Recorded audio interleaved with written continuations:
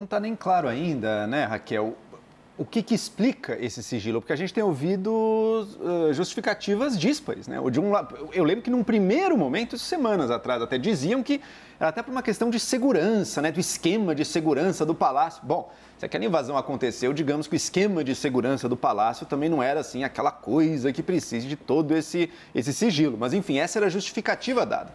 Daí depois surgem outras explicações. Surge a explicação de que o Supremo não tinha, o Ministério Público não tinha acesso.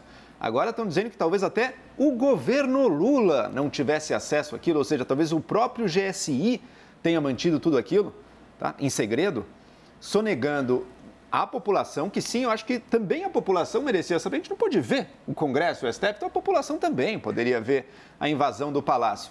E ainda mais, ainda mais sério, as autoridades que investigam e que julgam toda essa história.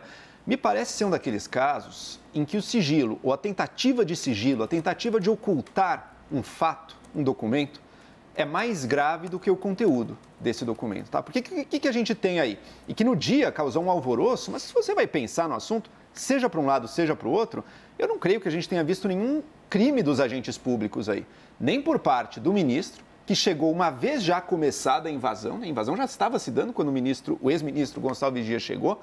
Uh, se ele tivesse em conluio, acho difícil que ele fosse se encontrar com os invasores na frente das câmeras ali durante tá a invasão. Quem está em conluio se esconde, Quem né? Quem está em conluio, em geral, vai para bem longe do, do que está acontecendo. Mas então ele vai até o palácio, verifica as coisas, verifica o gabinete do presidente, sai, eh, direciona alguns apoiadores para fora ali daquele andar que é o terceiro andar, que por ter o gabinete presidencial dizem que é o mais sensível, e depois fica meio que checando ali os danos em diversos outros andares. Isso por parte dele. Agora tem o outro lado também, né? Os tais oficiais, entre aspas, bolsonaristas do GSI que estariam ali, né? Toda a estrutura do GSI que foi legado do Bolsonaro e que o Gonçalves Dias não tinha mudado.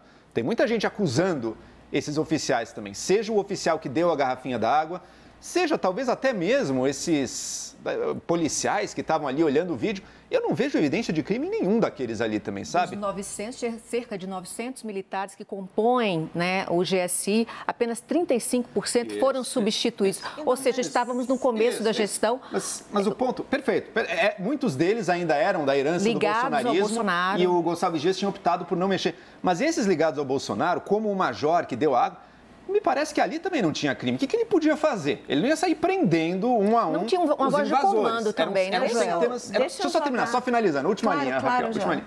Não ia prender um a um. O que, que ele fez? Também tratou de forma diplomática, sim, falou com eles, dialogou, até deu uma água, direcionou o caminho para eles, segundo ele, para levá-los ao segundo andar. Eles se concentraram no segundo andar. E daí, quando o efetivo maior da polícia chegou, um efetivo que era capaz de lidar com aquela gente toda, efetuaram as prisões. Pelo que a gente viu na Câmara, essa narrativa está bem plausível com o que aconteceu na hora. Então, tanto o ministro do Lula, homem de confiança do Lula, quanto os oficiais, ou o oficial, que seria supostamente bolsonarista, não me parece que, dada aquela situação de crise, agiram mal. As perguntas que ficam são o antes do vídeo. Como é possível que o GSI estava tão mal preparado para algo que estava mais ou menos anunciado que ia acontecer? E o depois do vídeo. Peraí, de onde saiu esse sigilo? Quem que decretou? Quentinho não tinha visto. O Lula disse que não tinha visto o vídeo. Isso é verdade mesmo? Ou estão tentando enganar a população aí? Para mim, essas duas perguntas, o antes e o depois, estão potencialmente mais graves do que o conteúdo do vídeo. Eu